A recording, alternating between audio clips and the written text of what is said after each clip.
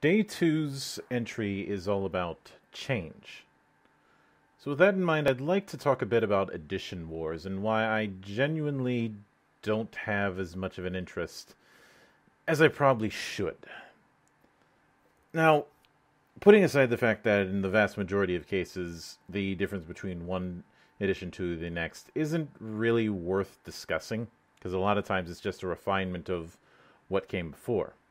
The additions that actually radically change things are significantly more rare than people might think. It's definitely one of those cases where recency bias comes into play because a lot of people, when they think of edition changes, they're probably thinking of stuff like World of Darkness or Dungeons and Dragons. And even with those, my whole policy has always been that I need to look at a work individually. Stan Lee once said that every comic is someone's first, and to me, every RPG is potentially someone's first in that same regard.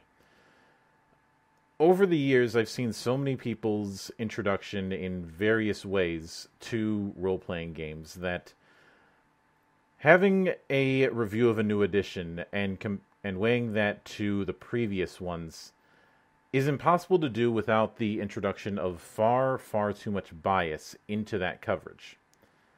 This is why when I reviewed something as controversial as Shadowrun 6th edition, I didn't make any comparisons to its previous forms because as far as I'm concerned, it's a it's a brand new start for it.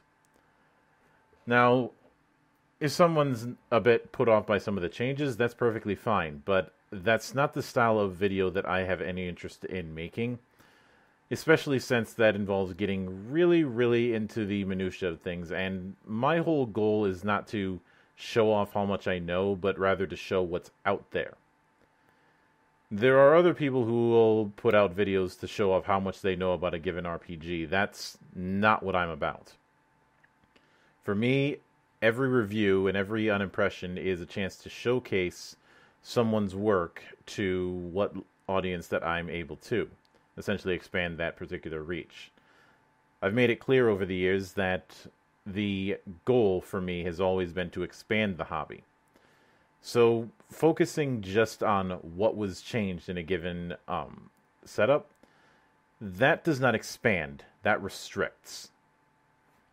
Because the only people who are going to be interested in that particular kind of coverage are the people who already have a background and already kind of have a decision about whether or not this new edition is going to be worth it for them and typically it's usually weighed against the new edition because that's how this always works.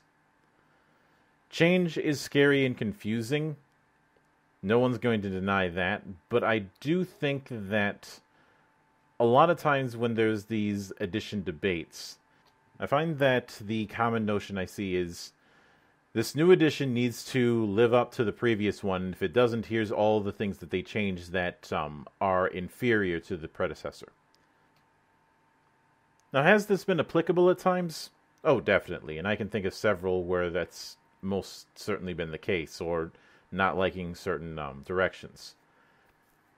But I always approach this very carefully because I don't want a coverage of of of these changes to just amount to a 10 minute video saying they changed it, now it sucks. Also, there's the elephant in the room that is it really fair to compare something that's been around for several years versus something that has been around for maybe a few months at best? I've never really thought so. See you next time, folks.